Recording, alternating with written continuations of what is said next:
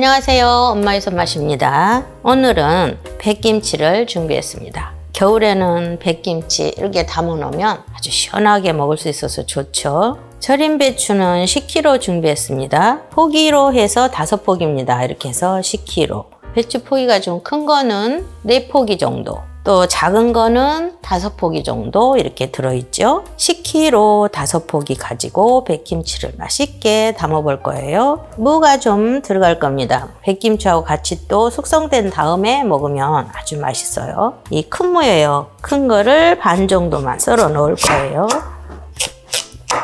먹기 좋은 크기로 썰어줍니다.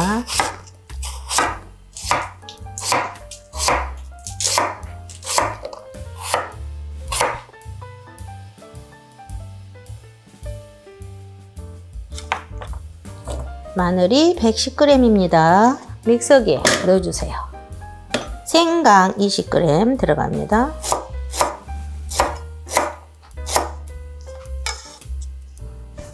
양파 반개, 큰 걸로 반개입니다. 썰어서 넣어주시고요.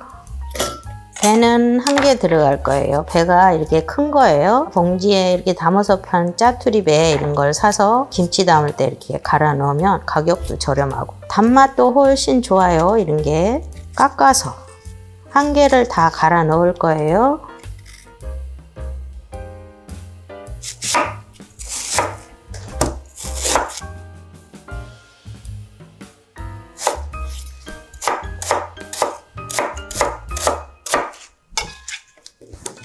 물 200ml만 넣어주세요. 그리고 갈아오겠습니다.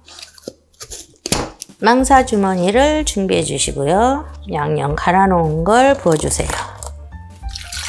믹서기에 들어있는 양념을 물을 부어서 다시 헹궈 주세요. 밀가루풀, 찹쌀풀 들어가지 않습니다. 동치미 국물처럼 깔끔하게 먹기 위해서 양파와 배만 갈아 놓고 하고 있습니다. 양념을 다 빠져나올 수 있게 조물조물 해주세요. 풀을 넣지 않아도 숙성이 되고 나면 동치미 국물처럼 시원하게 그런 맛으로 드실 수 있어요. 쭉 양념을 짜주시고요. 물은 3리터를 잡고 해주세요. 물 총 3리터가 들어갔습니다.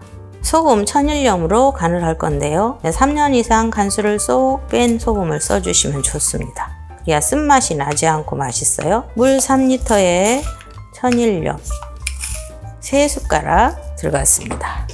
간을 보시면서 더 추가하셔도 되고요. 네, 식성에 맞게 간을 맞추세요. 멸치 액젓 100ml만 넣을게요. 소금만 넣는 것보다 섞어서 하시면 훨씬 더 맛있게 드실 수 있습니다. 매실청도 100ml 들어갑니다. 이거는 신화당입니다. 신화당이나 유수가 있으시면 이 작은 커피 티스푼으로 반 티스푼 정도만 넣습니다.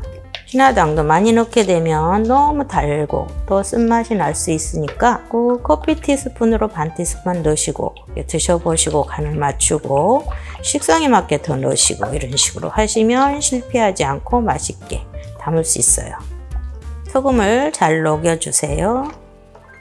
이대로만 만들어 주시면 실패가 없습니다. 이제 담아 보겠습니다. 홍갓입니다.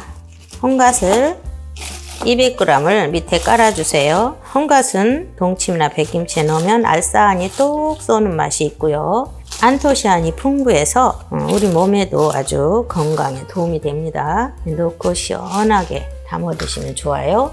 대파 한 줄 들어갑니다. 쪽파 120g이 들어갑니다. 밑에 깔아주시고요. 아까 썰어놓은 물을 국에 올려줍니다.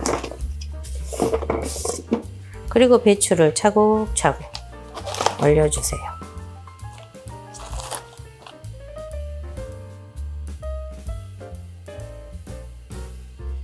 차곡차곡 넣어주신 다음에 김치 국물 만들어 놓은 걸 위에 부어줍니다. 골고루 부어주세요.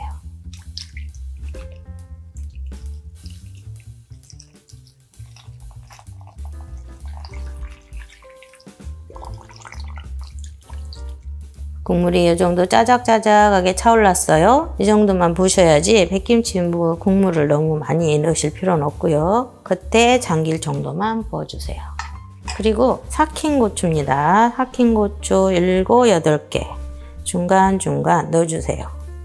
이렇게 밑에도 깔아주시고 위에도 넣어주시고 이제 다 담으셨으면 이 배추 겉잎파리 좀 남겨 놓으셨다가 이렇게 덮어줍니다. 덮어주셔야지 간이 쏙 배어 들어가고 위에는 싱싱하니 보존할 수가 있어요. 이런 식으로 덮어주세요. 백김치를 맛있게 담아보았는데요. 이제 이렇게 담은 김치는 각자 집안의 온도 차이가 있어요. 그러니까 3일에서 4일 정도 실온에 두셨다가 기포가 뽀글뽀글 올라오면서 상큼한 맛이 나면 냉장고 넣으세요. 또 무에도 간이 배야 되니까 10일은 지나서 어, 김치 냉장고 보관하셨다가 그렇게 드세요. 그러면 아주 맛있게 드실 수 있을 겁니다. 구독, 좋아요, 알람 설정 부탁드리고요. 항상 건강하세요. 감사합니다.